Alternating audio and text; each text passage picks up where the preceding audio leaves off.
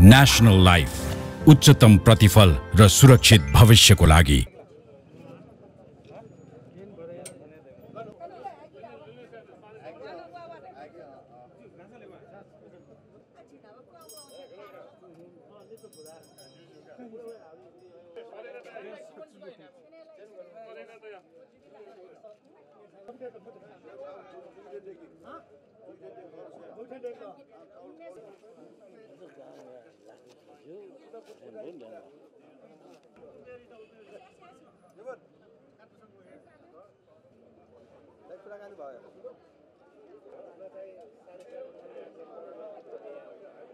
Mega 5 खुसीको upgrade Dish Home fibre net प्रवर्धन गर्ने यसलाई पर्यटनमा जोड जोड्ने भनेर हाम्रो नीति नै थियो र चुनावी घोषणापत्र अनुसारले हामीले सबै काम गर्दै आइरहेका छौँ।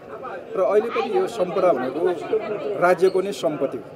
त्यो पहिला गुठियाहरूले बनाएका थिए त्यो गुठियाहरूले अहिले संरक्षण गर्न नसकिरहेको अवस्थामा राज्यको उपस्थिति त्यहाँ हुनुपर्छ। राज्यले संरक्षण गरिने हो तर सञ्चालन र व्यवस्थापन गर्ने गुठियाहरूलाई दिने हाम्रो नीति हो।